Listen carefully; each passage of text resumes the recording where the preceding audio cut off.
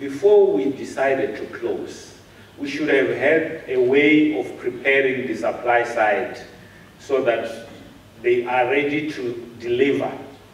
Uh, and because once prices have gone up, you, you, it's difficult to get them down, right? Uh, people begin to enjoy those profits and want to sustain them. So my point is that it may not be a bad policy, it needs to be done in a focused way and prepare the suppliers. But you also don't close for too long because you, you also may be protecting uncompetitive people.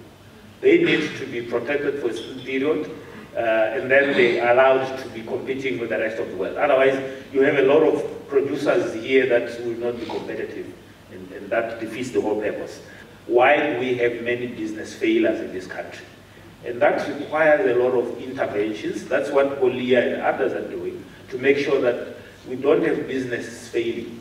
Uh, we, it, it, it really boils down to the fact that we probably have a lot of businesses that are not very good in terms of business proposals uh, that just go in there. And people may not even also have the right skills of business management. But some of it could just be sheer mismanagement from people that when they make a little money, start buying cars that are beyond what the business can contain. Uh, I mean, let's be honest about it. Some businesses fall because people don't have the discipline to, you know, stick to what the business is supposed to be doing.